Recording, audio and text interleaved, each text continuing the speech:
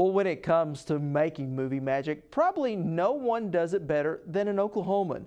In this week's Oklahoma Profile, our Perry Thoele introduces us to Academy Award winner Matthew Mungle.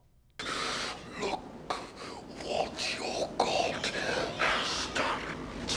And it was a really a big surprise to me when we won the Academy Award for Bram Stoker's Dracula. And the Emmys were great too because it's the same kind of thing, you know, that you did an exceptional job and this is what you are awarded for. But I really didn't get into it for winning awards. But that is what Mungle has done.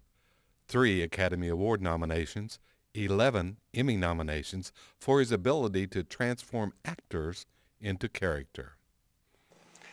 It's, it's a passion. It's, I mean, starting out at 12 years old, how can it not be a passion when I'm 48 here and I still love to do the art of makeup? That's what I really enjoy doing, is making, doing a makeup so that it really totally fools the audience. Like we, for Schindler's List, we had to take the eight principal women and basically make them look like they'd have their head shaved. And that's what really intrigues me. And it's just still, every job is so creative. It was in Atoka, Oklahoma that Mungle's interest in movie makeup was sparked when he saw the Planet of the Apes movie one of the ape movies came to town, and I was going to school with the uh, with the um, the daughter of the owner of the local theater. Came to the theater door, knocked on the door. He was astounded by what I had done. You know, uh, gave me a sign, walked around the, the the town promoting the show. Matthew headed to Hollywood soon after high school, where he worked his way to the top.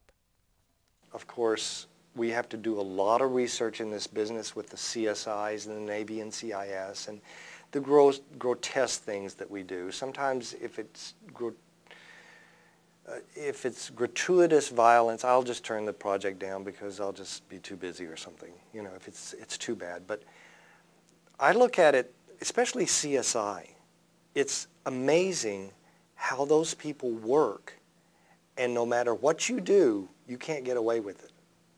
And that's the bottom line I look at it. We ask Matthew about the vast amount of Oklahoma talent that seems to be such a major influence within the entertainment business. I, I find it in a lot of Midwest people, uh, you know, from the center of the United States, Oklahoma, Texas, Kansas, in that I have a lot of people that come out and work for me, and I find that their work values and ethics really stem from their uh, upbringing on that. It's worth work ethic that I'm always looking at because I was instilled that by my father too. But yes, the work ethic I think really is comes a lot from Oklahoma too. Young people come up and say, I want to be a producer, I want to be a director. Okay, what I say to them, you need to go through every aspect of this business before you come become a director, and you promise me that you do that.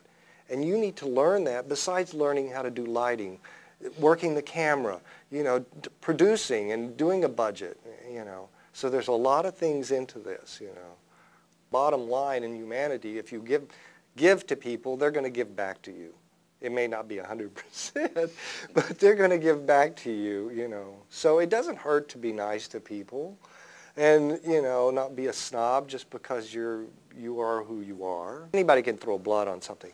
Start out doing doing regular makeup and creative makeup, and work your way. Uh, learn how to do a bald cap. That's the art of makeup. What is changing for Matthew now that he is recognized as one of the best in the world? I think I'll I'll end up just staying out in Hollywood as far as I know right now. I just love the business and that's where the business is. Finally, what do you think makes a farm boy from Oklahoma go on to become probably the best in the world at makeup effects? I think it really, I think it really came from my grandmother, who was um, uh, Mungle, who was so creative at photography agriculture, sewing, everything. She was so talented at her, whatever she did. And she just lived up the road from me, just literally, you know, 50 yards, wherever, when we were growing up there. So I, I give her a lot of credit on not necessarily makeup, but just whatever you want to do creatively, you can do. It's been a great pleasure to feature Matthew Mungle and some of his work as a part of Oklahoma Horizon.